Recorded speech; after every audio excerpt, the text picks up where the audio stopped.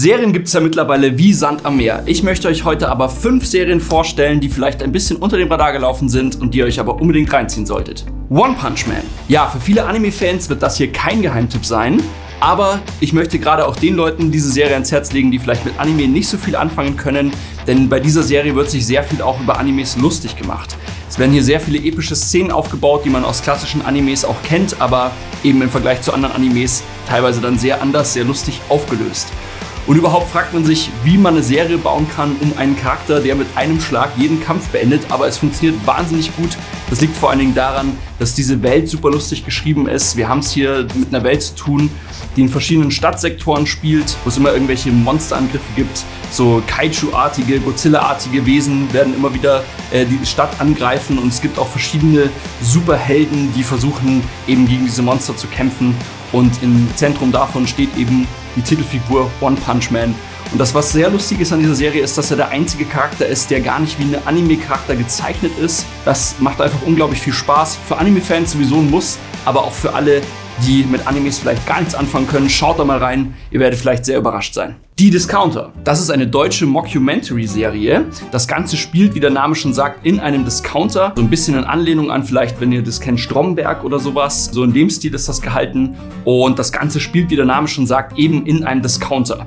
Es geht hier sehr viel um so Alltagsproblematiken und generell, wie das Alltagsleben so in so einem Supermarkt abläuft. Natürlich auch hier wieder sehr überspitzt dargestellt. Und das Ganze bringt auf jeden Fall noch so einen kleinen Touch Gesellschaftskritik mit rein, was ich sehr, sehr gut finde. Besonders die schauspielerische Leistung über bei dieser Serie möchte ich hervorheben. Es ist ein sehr unbekannter Cast, der hier in dieser Serie mitspielt, aber die bringen eine wahnsinnige Spielfreude mit. Ganz, ganz viele Szenen in dieser Serie sind improvisiert worden. Besonders hervorheben möchte ich hier Merlin Sandmeier, ein Name, den man wahrscheinlich noch nie gehört hat, ein sehr unbekannter Schauspieler, der in dieser Serie den Security äh, Guard spielt, also den Security Man von dem Discounter. Und das ist einfach großartig, wie der das spielt. Er hat so auch so eine klassische Opferrolle, wird immer von den anderen gemobbt und so. Und das ist aber, ja, einfach schauspielerisch macht es unglaublich viel Spaß. Zieht euch das auf jeden Fall mal rein.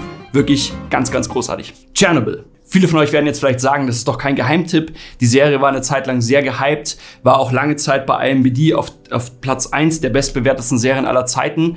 Trotzdem möchte ich sie gerne hier nochmal erwähnen, weil ich der Meinung bin, dass sie dann im Laufe der Zeit doch immer wieder so ein bisschen verschwunden ist. Diese Serie ist einfach so großartig gemacht. Ich kenne keine andere Serie, auch glaube ich keinen anderen Film, der ein reales Ereignis nimmt und daraus eine Spielfilmserie macht und gleichzeitig aber so nah an den realen Ereignissen dran bleibt. Da ist so viel drin, was man so noch neu erfährt über dieses ganze Geschehen, was da abgelaufen ist, über dieses Unglück. Was sehr, sehr schön ist bei dieser Serie, ist, dass auch immer mit dem Wissen des Zuschauers gespielt wird, weil jeder weiß ungefähr, was da bei Chernobyl abgelaufen ist. Die Protagonisten in der Serie wissen das aber oft dann nicht. Da gibt es ganz, ganz viele Szenen, wo man einfach sofort Gänsehaut bekommt. Was mich persönlich auch sehr beeindruckt hat bei dieser Serie ist, dass ich immer wieder zwischendurch auch verschiedene Ereignisse gegoogelt habe, weil ich nicht glauben konnte, dass das wirklich so passiert ist. Also man kriegt da nochmal einen ganz anderen Einblick auch auf dieses Unglück.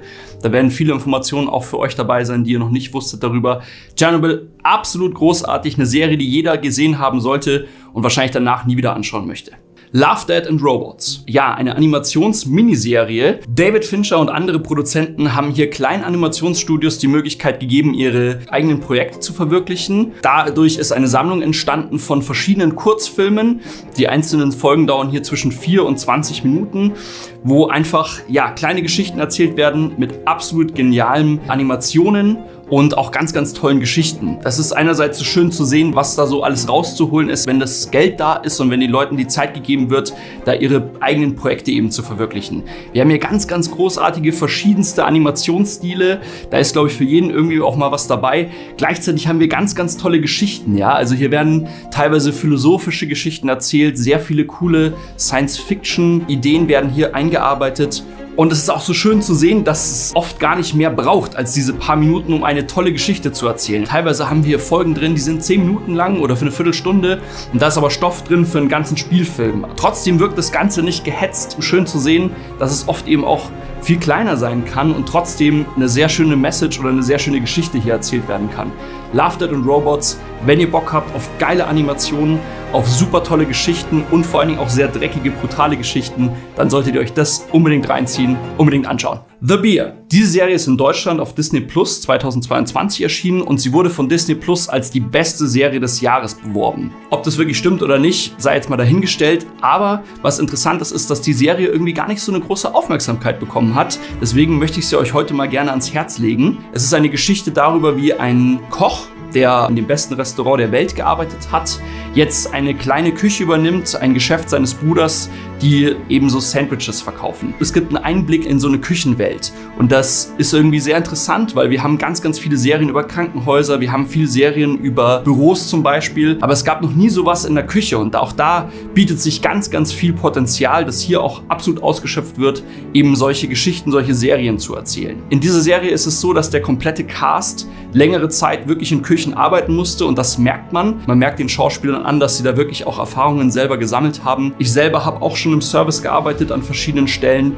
Es hat sehr, sehr stark diesen Flair, den man daraus kennt, wie da miteinander gesprochen wird. Dieser Stress in dieser Küche kommt unglaublich gut in dieser Serie rüber und eben auch dieses Verhalten untereinander, dass man sich dann teilweise nur noch anschreit, gegenseitig zur Sau macht und dann am Ende des Tages aber doch wieder zusammen an einem Tisch sitzt, sich gut versteht und gemeinsam eben an einem Projekt arbeitet. Also wer da Einblick haben möchte, mal in diese Welt von, von der Gastronomie, eben in der Küche, der sollte sich das auf jeden Fall mal anschauen. Das Ganze ist noch gepaart mit so einer ja, sehr tragischen Familiengeschichte, die so über das Ganze ein bisschen drüber gestülpt wird und die aber auch sehr dezent erzählt wird. Also auch da muss man immer so den einzelnen Szenen gut aufpassen. Es werden immer nur so kleine Informationen reingeträufelt und so erst nach und nach ergibt sich da ein gängiges Bild. Also eine spannende Geschichte unglaublich gute Szenen. Die Intensität dieser Serie ist brillant. Man spürt richtig den Stress in der Küche selber beim Zuschauen. Also, wer da mal Einblick haben möchte, unbedingt anschauen. Welche Seriengeheimtipps könnt ihr noch empfehlen? Schreibt es mir gerne in die Kommentare. Um nichts mehr von mir zu verpassen, vergesst nicht, den Kanal zu abonnieren und die Glocke zu drücken. Wir sehen uns im nächsten Video. Ciao.